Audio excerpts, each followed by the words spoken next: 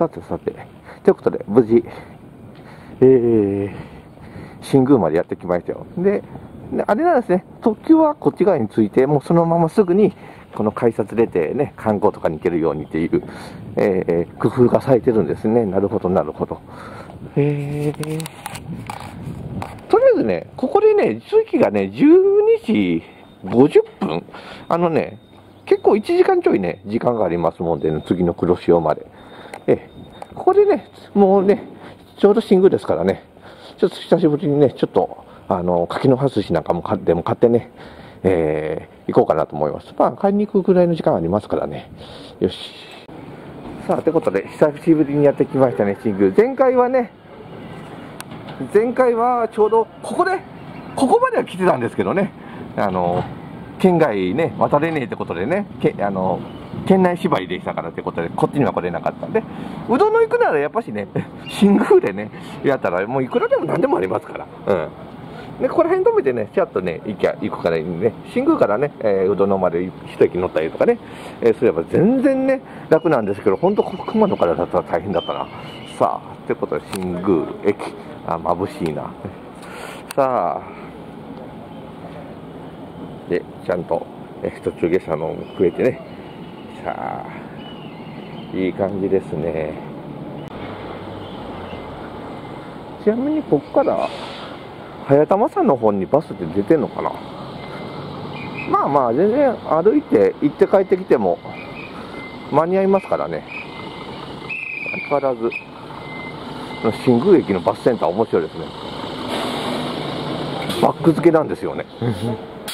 本宮山の方やもんな。さすがにね、本宮山には行けないわ。ね、えー、えー、ってことで、えー、コミュニティバス、乗ったら早玉山の方って行けるのかな、えー、緑点線。あ違う。これはなんかぐるっと回るんだ。あ。市内の住宅地とかはぐるっと回るみたいですね。なるほどなるほど。危ない危ない。まあとはいえね何せこの動画のね初期初期も初期ですよね一番最初のあれか移動動画、えー、旅動画でね、えー、来たのが実はこの新宮でしたから、あの、亀山発新宮行きのね、えー、各駅停車で行くっていうね。まあでも、あれの方が到着する時刻自体は早いんですよね。うん。所要時間も全然やはり特急の方が短いですけどね。えー、で、今回は、やっぱせっかくね、まあ時間もありますんで、駅前散歩リベンジやりましょうか。まあ、ここをね、過去に1回ぐるーっとね、早玉さん行ってね、帰ってね、歩いて回ったことがあるんですけど、もう1年以上前ですからね、2019年の2月とかそれぐらいでしたよね。うん、もう、もう2年近く前か。ええ、そうですよ。ね、だいぶ時間も経ちましたからね、いろいろ変わってるかもしれません。ちょっと見てこじゃないですか。あ、そっか、前回はでだ。ぐるっと商店街の方から大回りしたんですよね。そうそうそう。使用3万なんか3万ね今年は不要やって言われてましたけどこっちの方はどうなんでしょうねラーメン屋さんなんかもありますけどね今日はねやっぱねせっかくこっちに来たんだったらね寄りたいところがねいくつかありますからねあのまずあれですよね。基本的に私新宮に来たらここの大倉に寄らんと新宮に来た感がわかないんですよね、うんこれがね、大久はあの駅前店でしたっけ。あの新宮駅前店とかじゃなくて駅前店って名前だったんですね確か、うん、あれ大久保って和歌山県が地盤ですけどあれなんですかね。和歌山でも新宮の方がもともとの地盤なのかな。ここもねあ今新宮駅前店になってるか。昔駅前なんか新宮ってついてなくて駅前店ってなっとったような気がするんやけどな。ちょっと古い写真あったら出しときます。こんな感じ。改装前の写真にも来たことありましてね。そうそうそう。まず飲み物買ってこう。さあ買ってきましたよということでね。まあ飲み物とね。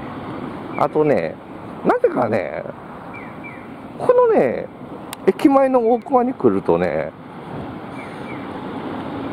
あの商材云々というかね、そこの食品じゃなくてね、なぜかね、いつも食品以外のものを何か買うんですよね。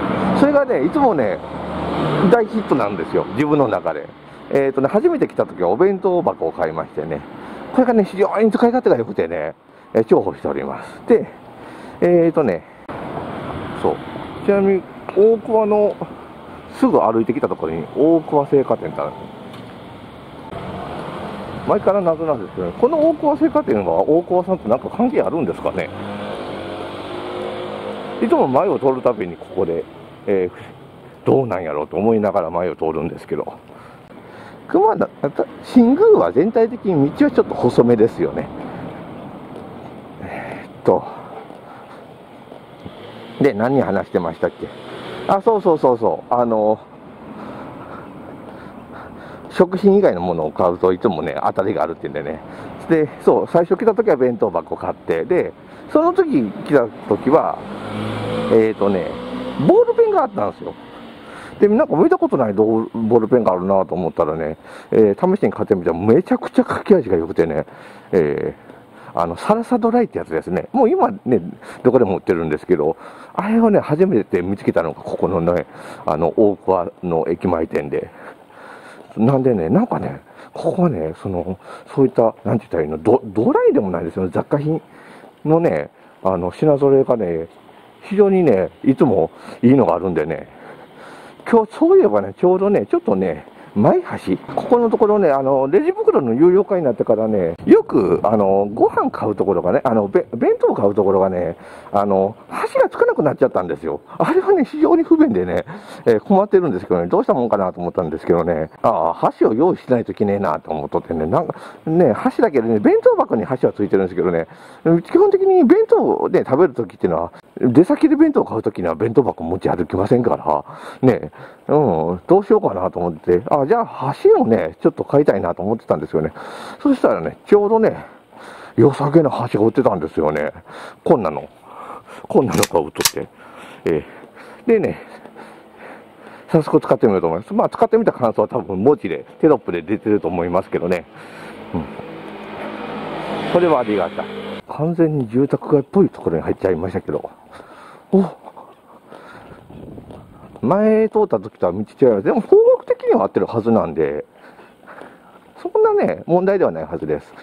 うんで、まあ、早玉さんも当然お参りちらっとしてきますけど、あの、一番の目的は、あの早玉さんの近くにあるね、あの、柿の魚さんね、あの、うちが初めて食レポっていうかね、あの、食べ歩きでね、最初に買ったお店ですよね、そう。えー早玉さん巡って帰りに、あの、梅ソフトが売っとってね、こんな感じで。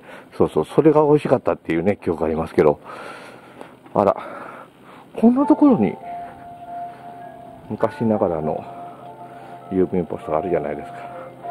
これは新宮局なんですね。熊野寺なんや。へえ。結構古いですね。1号ポストやから、それは古いのは古いんですけど。ねとりあえず巡ってもちっちゃいですもんね。熊野寺って名前なんですね、地名が。え？あれ？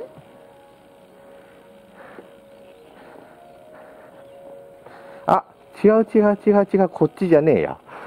えっと、ここは何なんだろう？なんか公園かなんかなの？なんか入っていいのかな？立ち入り禁止ってなってないからいいですよね。津波一時避難場所、まあ、公園か。へえ。ああ、危ない危ない。方角間違えとるわ。